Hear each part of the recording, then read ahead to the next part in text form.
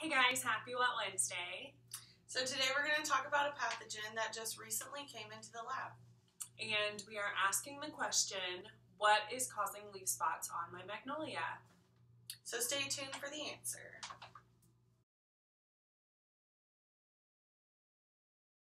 The symptoms of algal leaf spot include spots that are circular and blotchy and usually raised from the leaf surface. The spots affects not only the leaves but can also affect the twig, branches, and fruits. And the edges of the spots may be wavy or feathered. The color varies from crusty gray-green to greenish brown, and if the colonies are numerous, premature yellowing and loss of leaves can occur. The disease is favored by wet weather and plants that are already weakened by poor growing conditions. Sporangia, which are the asexually formed reproductive structures, develop during the summer, and spores are dispersed by rain to develop new sporangia on new leaves.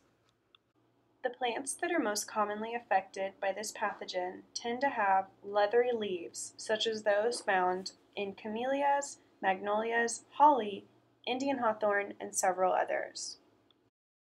Here is a picture of the sporangia of algal leaf spot.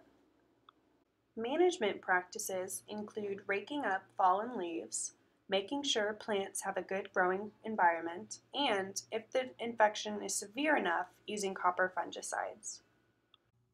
Wow, that was a ton of awesome information. Yeah, you know, Tracy, I actually used to hate algae, but after watching this video, it's starting to grow on me. You should probably get that checked on. So anyway, um, this Friday, two days from now, we have an awesome, awesome, awesome, awesome video planned. You can see us in action in the lab, and you're gonna love it. So make sure to tune in on Friday to see this video.